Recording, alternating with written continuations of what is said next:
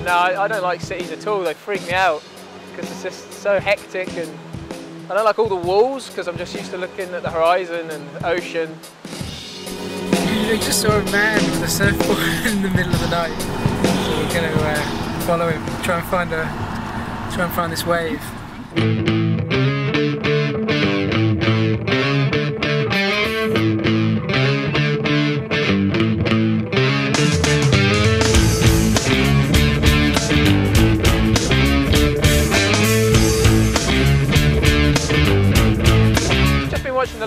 Guys surfing and they're absolutely ripping the place apart. So um, I'm a little bit nervous actually.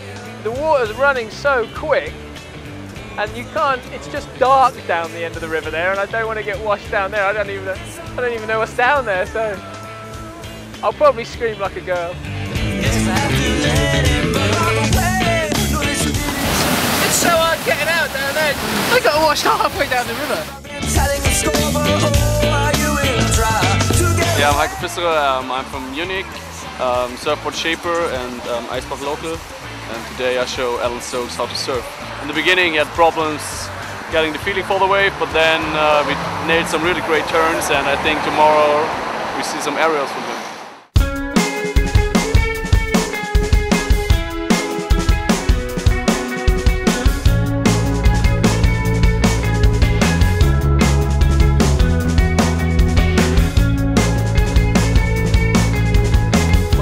Off, you just pull over the back and there's a whole bunch of rocks there that you can whack.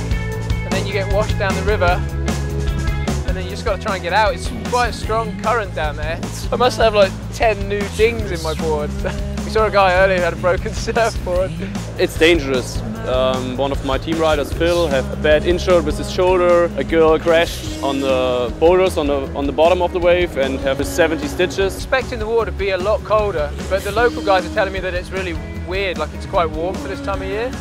That's our daily dose of surfing. So we do it in summer, we do it in winter, we don't care. Sometimes if you change uh, and it's freezing, freezing cold, your wetsuit get freeze on the floor. The best thing is like you're standing on the side there watching everyone. Everyone's hooting and cheering and stuff when someone does something cool, so it's really good. It's not like a real surfing in the ocean. You're always together with people, can talk to them, make your next run, do a trick. Yeah, it feels like a bit more of like a skate jam or something rather than like a surf. The smallest ones always scream like insects in the water. A liquid strain of love's disease, so ascertain another slaughter. Your one-time heart that's now machine. So what's the name and what's the matter? We've been surfing all day and it's now quarter to 12 at night. Great trip. Great fun, huh?